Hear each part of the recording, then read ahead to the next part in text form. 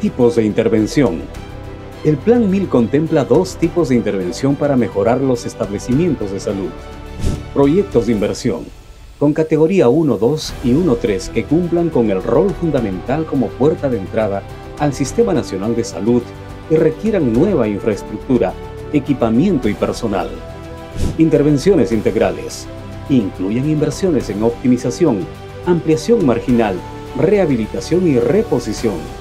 Además, inversiones en mantenimiento e inversiones no sujetas al invierte.pe.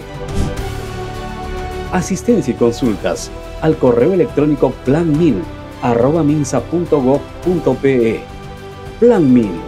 Construimos salud para todos. Ministerio de Salud. Bicentenario del Perú 2024. Ponle punche y ganamos todos Perú. Gobierno del Perú.